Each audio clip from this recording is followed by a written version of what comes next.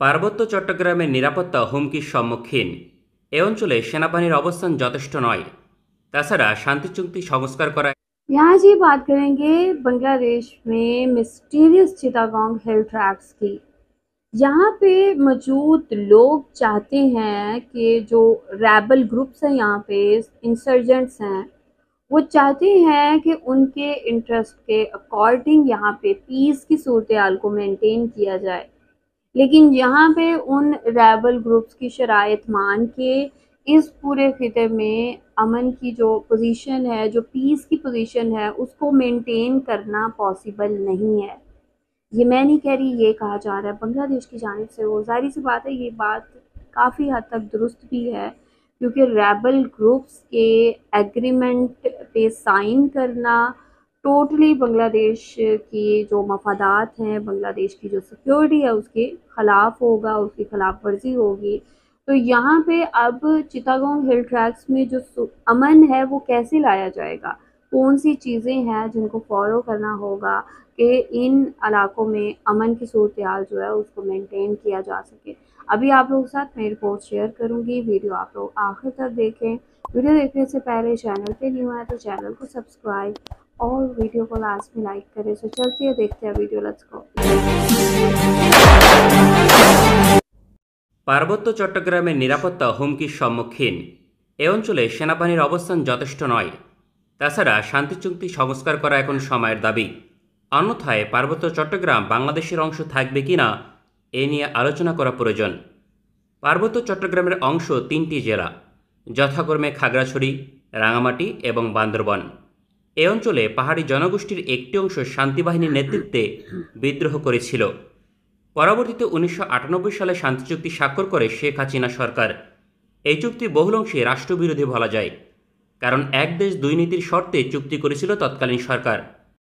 ফলে পার্বত্য চট্টগ্রামে বাঙালি জনগোষ্ঠীরা দ্বিতীয় শ্রেণির নাগরিকে অন্তর্ভুক্ত হয়। কারণ পার্বত্য চট্টগ্রামে বাংলাদেশের মানুষ জমি ক্রয় করতে পারবে না যে কোনো গুরুত্বপূর্ণ পদে যোগদান করতে পারবে না। তাদের কোটা দেওয়া হবে না। পাশাপাশি সেনাবাহিনীর অবস্থান সীমিত করতে হবে। এক কথায় অঘোষিত স্বায়ত্তশাসন পেয়েছে চুক্তির আওতাধীন। সুতরাং পার্বত্য শান্তি চুক্তি সংস্কার করার কোনো বিকল্প নেই। বাংলাদেশের সকল অঞ্চলে এক দেশ এক নীতি গ্রহণ করাই একমাত্র সমাধান। শান্তি চুক্তির অংশ হিসেবে কথা ছিল পার্বত্য চট্টগ্রামে ছয়টি স্থায়ী সেনানিবাস থাকবে। পাশাপাশি পর্যায়ক্রমে সকল অস্থায়ী সেনা ক্যাম্প সরিয়ে নেবে বাংলাদেশ সরকার। পূর্বে সেনাবাহিনীর প্রায় তিনশত অস্থায়ী ক্যাম্প ছিল। গত সতেরো বছরে শেখ হাসিনা সরকার একশো উনিশটি সেনা ক্যাম্প বাতিল করেছে। এই সুযোগে পাহাড়ি সন্ত্রাসী গোষ্ঠী নিজেদের আধিপত্য বিস্তার করেছে। অনেক ক্ষেত্রে পার্শ্ববর্তী দেশের সহযোগিতায় সেনাবাহিনীর উপর হামলা চালিয়েছে। সুতরাং পার্বত্য চট্টগ্রামে বাংলাদেশ সেনাবাহিনীর অবস্থান শক্তিশালী না করলে এর মূল্য দিতে হবে। বর্তমানে পার্বত্য চট্টগ্রামে দীঘিনালা আলীকদম, কাপ্তাই, বান্দরবন খাগড়াছড়ি এবং রাঙামাটিতে সেনানিবাস রয়েছে। এগুলো স্থায়ী সেনানিবাস বলা হলেও এর সক্ষমতা খুবই সীমিত কারণ এর একটিও পূর্ণাঙ্গ সেনাঘাঁটি নয়। পূর্বে পার্বত্য চট্টগ্রামের সকল সেনানিবাস পরিচালনা করত চট্টগ্রামের চব্বিশ পদাতিক ডিভিশন। বর্তমানে মিয়ানমার সীমান্তবর্তী রামুতে একটি পূর্ণাঙ্গ সেনানিবাস স্থাপন করেছে ফলে আলীকদম সেনানিবাস নিয়ন্ত্রণ করে রামুর দশ পদাতিক ডিভিশন। বাংলাদেশ সেনাবাহিনীর আঠারোটি ব্যাটালিয়ন পার্বত্য চট্টগ্রামে মোতায়েন রয়েছে। সাধারণত প্রতিটি ব্যাটালিয়নে সাতশো প্লাস সৈনিক থাকে। সুতরাং পাহাড়ি অঞ্চলে মাত্র বারো থেকে তেরো হাজার সেনাবাহিনীর অবস্থান যা কোনোভাবেই যথেষ্ট নয়। পার্বত্য চট্টগ্রামের ভৌগোলিক অবস্থান দুর্গম, ফলে বিভিন্ন অঞ্চলে আলাদা আলাদা সেনাবাহিনীর অবস্থান থাকা বাঞ্ছনীয়, কারণ বাংলাদেশ পুলিশের প্রশিক্ষণ এবং সক্ষমতা নাজুক। সুতরাং তাদের পক্ষে পার্বত্য চট্টগ্রামের পরিস্থিতি নিয়ন্ত্রণ করা কঠিন। পার্বত্য শান্তি চুক্তি বাস্তবায়ন শর্তযুক্ত ছিল। চুক্তির সতেরো এর কধারা অনুযায়ী শান্তিবাহিনী অর্থাৎ জেএসএস স্বাভাবিক অবস্থায় ফিরে আসলেই কেবলমাত্র বাংলাদেশ সরকার সেনাবাহিনী প্রত্যাহার করবে। এছাড়া পার্বত্য চট্টগ্রামে বাংলাদেশ সেনাবাহিনীর ফরমেশন কেমন হবে তা নির্দিষ্ট করে উল্লেখ করা হয়নি। অর্থাৎ পার্বত্য চট্টগ্রামে ছয়টি সেনানিবাস ব্যাটালিয়ন আকারে হবে নাকি ব্রিগেড আকারে হবে অথবা ডিভিশন আকারে। সুতরাং বাংলাদেশ সরকার চাইলে চুক্তির শর্ত অনুযায়ী পুনরায় সেনাবাহিনীর অবস্থান শক্তিশালী করতে পারে। কারণ শান্তি বাহিনীর একটি অংশ তৎকালীন সময় বেরিয়ে গিয়ে নতুন বাহিনী গঠন করেছিল। বাংলাদেশ সেনাবাহিনী পার্বত্য চট্টগ্রামে যে কোনো সময় যে কোনো ফরমেশনে অবস্থান নিতে পারবে। এক্ষেত্রে বেসামরিক প্রশাসনের আওতাধীন নিয়োজিত হবে বাংলাদেশ সেনাবাহিনী। বর্তমান পরিস্থিতি বিবেচনায় বাংলাদেশ সেনাবাহিনীর অবস্থান পার্বত্য চট্টগ্রামে শক্তিশালী করতে হবে। পার্বত্য অঞ্চলের সেনাঘাটিগুলোর সক্ষমতা নাজুক। প্রথমে ওই অঞ্চলে প্রয়োজনীয় সরঞ্জাম এবং সৈনিক মোতায়েন করতে হবে। কারণ পার্বত্য চট্টগ্রামে মাত্র বারো থেকে তেরো হাজার সেনাবাহিনী যথেষ্ট নয়। এ অঞ্চলে কমপক্ষে আঠারো থেকে বিশ হাজার সেনাবাহিনী প্রয়োজন। কারণ যে কোনো সময় পরিস্থিতির অবনতি হলে তা নিয়ন্ত্রণ করতে বিশ হাজার সৈনিক অবশ্যই লাগবে। কারণ এ অঞ্চলে সন্ত্রাসী গোষ্ঠীর প্রভাব বৃদ্ধি পাচ্ছে। তবে পার্বত্য চট্টগ্রাম কোনোভাবেই স্বাধীন হতে পারবে না। কারণ এ অঞ্চলের প্রায় একান্ন শতাংশ জনগোষ্ঠী বাঙালি। ফলে আন্তর্জাতিক নীতিমালা অনুযায়ী ভোট হলে তা বাংলাদেশের পক্ষে যাবে। বাংলাদেশ সেনাবাহিনীর পক্ষে অভ্যন্তরীণ এবং আন্তর্জাতিক শত্রুকে একসঙ্গে মোকাবেলা করা বড় ধরনের চ্যালেঞ্জ। এক্ষেত্রে এক লক্ষ সত্তর হাজার সেনাবাহিনী কোনোভাবেই যথেষ্ট নয়। কমপক্ষে এই সংখ্যা দুই লক্ষ অতিক্রম করতে হবে এবং তা যত দ্রুত সম্ভব। বাংলাদেশ সেনাবাহিনীর পাশাপাশি বেসামরিক বাহিনীর সক্ষমতা শক্তিশালী করতে হবে, কারণ একটি সময় যাতে বাংলাদেশ পুলিশ পার্বত্য চট্টগ্রামে নিরাপত্তায় যথেষ্ট হয়।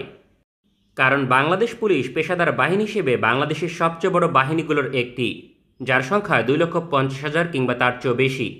এক্ষেত্রে পুলিশ প্রশিক্ষণ সর্বোচ্চ এক বছরের উন্নতি করতে হবে। তাদের শারীরিক এবং মানসিক দক্ষতা নিয়ে কাজ করা প্রয়োজন। তাছাড়া উন্নত রাষ্ট্রের মতো শক্তিশালী রাইফেল সরবরাহ করতে হবে। এক্ষেত্রে সেনাবাহিনীর মতো পুলিশও স্ট্যান্ডার্ড রাইফেল অপারেট করবে। সুতরাং বিশ থেকে তিরিশ হাজার পুলিশ পার্বত্য চট্টগ্রামে মোতায়েন থাকলে সেনাবাহিনীর প্রয়োজনীয়তা আগামী এক দশকের মাঝে কমে আসবে। কারণ অনন্তকাল ধরে অভ্যন্তরীণ নিরাপত্তায় বাংলাদেশ সেনাবাহিনীর সরাসরি অবস্থান থাকা জাতীয় নিরাপত্তার জন্য সঠিক নয়। সেক্ষেত্রে আগামী এক দশকের মাঝে বেসামরিক এবং সামরিক বাহিনীর মাঝে একটি সমন্বয় প্রয়োজন, যাতে একসঙ্গে মিলে পার্বত্য চট্টগ্রামের নিরাপত্তা নিশ্চিত করা সম্ভব হয়। তবে আগামী এক দশকের মাঝে কোনোভাবেই পার্বত্য চট্টগ্রামে সেনাবাহিনীর ক্যাম্প কমানো উচিত হবে না। বাংলাদেশ সরকারকে আগামী এক দশকের মাঝে পার্বত্য শান্তি চুক্তি সংস্কার করতে হবে যার ফলে ওই অঞ্চলের নিরাপত্তা হুমকি এমনিতেই কমে আসবে। পাশাপাশি বর্ডার গার্ড বাংলাদেশের অবস্থান ওই অঞ্চলে বৃদ্ধি করা প্রয়োজন। সেনাবাহিনীর মতো স্ট্যান্ডার্ড একটি বাহিনী বর্ডার গার্ড বাংলাদেশ। তাদের প্রশিক্ষণ এবং সরঞ্জাম সেনাবাহিনীর মতো আধুনিক। তাছাড়া এই বাহিনীর নেতৃত্বে থাকে বাংলাদেশ সেনাবাহিনীর অফিসার ক্যাডেট সুতরাং যে অঞ্চল থেকে সেনাবাহিনীর ক্যাম্প সরিয়ে নেওয়া হয়েছিল, ওই অঞ্চলগুলোতে বর্ডার গার্ড বাংলাদেশকে দিয়ে প্রতিস্থাপন করা সম্ভব। তবে এখানে সমস্যা হচ্ছে বর্ডার গার্ড বাংলাদেশের সংখ্যা যথেষ্ট নয়। মাত্র সত্তর হাজার বর্ডার গার্ড দিয়ে বিশাল অঞ্চল কভার করা অসম্ভব। এক্ষেত্রে এই বাহিনীর সংখ্যা এক লক্ষে উন্নতি করা প্রয়োজন। বাস্তবতা হচ্ছে সামরিক এবং আধা সামরিক বাহিনীর সংখ্যা বৃদ্ধি করা রীতিমতো চ্যালেঞ্জিং কারণ অর্থনীতির উপর বড় ধরনের চাপ তৈরি হয়। সেক্ষেত্রে বাহিনীগুলোর আকার বৃদ্ধির চেয়ে বাংলাদেশ পুলিশের মতো বড় বাহিনীকে আধুনিকায়ন করাই সবচেয়ে উত্তম, কারণ বাংলাদেশ সেনাবাহিনীর চেয়ে পুলিশের সংখ্যা প্রায় দ্বিগুণ।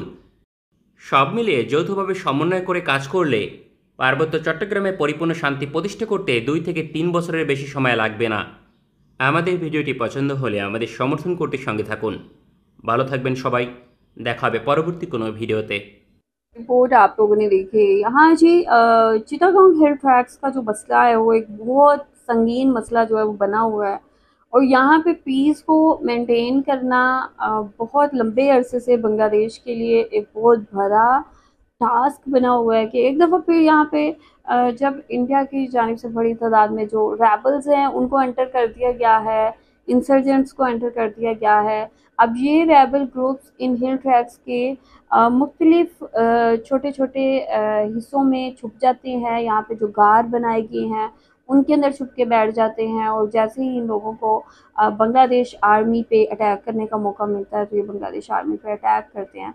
तो यहाँ पे ये सिक्योरिटी के लिए बहुत बड़ा रिस्क है। तो इन रेबल ग्रुप्स को ख़त्म करना बांग्लादेश के लिए बहुत बहुत ज़्यादा ज़रूरी है। बांग्लादेश आर्मी इसको लेके ऑलरेडी ऑपरेशन जो है, उसका आगाज़ कर चुकी है कि इन तमाम एरियाज़ का बिल्कुल सफाया किया जाएगा। और यहाँ पे रेबल ग्रुप्स की एंट्री जो है, उनको बिल्कुल स्टॉप किया जाएगा। इंडिया की इस कोशिश को नाकाम किया जाएगा। जो वो करना चाहते हैं कि बांग्लादेश के अंदर जो लॉ एंड ऑर्डर की सिचुएशन है, उसको ख़राब किया जाए। अब यहाँ पे पीस तभी आ सकता है अगर बांग्लादेश की फोर्सेस यहाँ पे फुली एक्टिव रहती हैं। अगर बांग्लादेश की फोर्सेस यहाँ पे जो जितना भी बॉर्डर एरिया है, वहाँ पे एक्टिवेट हो जाती हैं। और यहाँ पे जो सहूलतें हैं, उनको फुली अपडेट किया जाता है, उनको अपग्रेड किया जाता है ताकि बांग्लादेश आर्मी के जो लोग हैं, इन प्लेसेस पे एक्टिव रहें और यहाँ पे किसी भी किस्म की एक्टिविटी के ख़िलाफ़ जो एक्शन है, वो ले सकें। तो अब इन एरियाज़ में जो प्रोग्रेस है, वो होना बहुत ज़रूरी है। तभी जाके बांग्लादेश इन एरियाज़ में जो अमन की पोजीशन है, जो पीस की पोजीशन है, उसको मेंटेन कर सकेगा। आप लोग क्या कहेंगे? आप लोगों को क्या कहना जो भी कहना चाहते हैं लास्ट में बताए कॉमेंट सेक्शन में। वीडियो को लाइक और शेयर करें। अपना ख्याल रखें अपने इस चैनल का भी। I will see you till take care हाफिज़